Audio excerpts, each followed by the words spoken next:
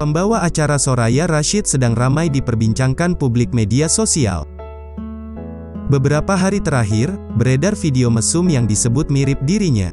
Narasi dalam video yang beredar itu pun mengarah kepada sosok presenter cantik itu. Salah satu yang dianggap mirip adalah penggunaan kalung dengan simbol S. Angela T mengancam pelaku yang menyebarkan video mesum dan menulis itu adalah Soraya Rashid atau dirinya. Angela T juga mengatakan akan segera mengurus kasus tersebut. Seperti apa? Angela T murka melihat kabar beredar video mesum yang dibilang mirip Soraya Rashid atau dirinya. Baru-baru ini publik dihebohkan dengan video panas. Video panas tersebut beredar di media sosial dan tertera jika wanita yang ada di dalam video tersebut adalah host ternama.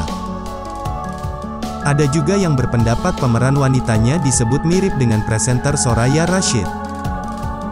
Soraya Rashid yang pembawa acara Uang Kaget ini mendapatkan banyak DM Instagram yang menanyakan kebenaran dari video tersebut.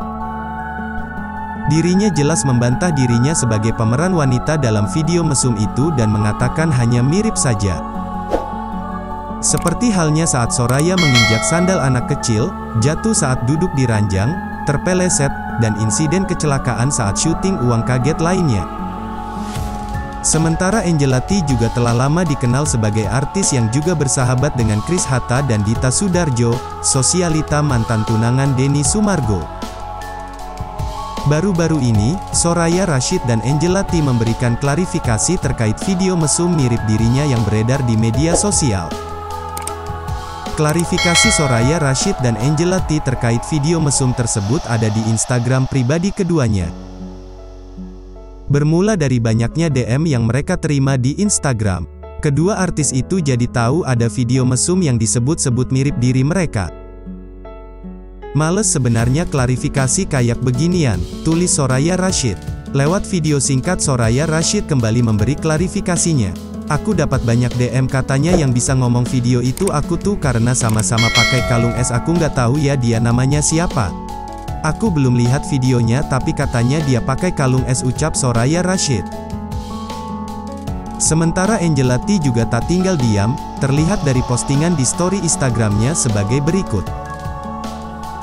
Kami bekerja membantu dan menghibur dengan niat baik, tapi lagi-lagi diusik. Beberapa manusia punya niat jahat dan ancurin nama baik kita gak apa-apa. Nanti lihat apa yang Tuhan tumpahkan ke hidup kalian semua terhitung hari ini silakan sebarkan dan fitnah kami, tulis Angelati. Usai kedua artis itu memberi klarifikasi di laman story Instagram, akhirnya perlahan akun penyebar video tersebut turut mengklarifikasi postingannya. Kenapa tiba-tiba klarifikasi? Lo katanya itu video mesum Soraya. Hati-hati UUIT menanti, sebarin aja viralin aja. Nambahin dosa biar neraka penuh. Tulis Angela T yang kemudian direpost Soraya Rashid.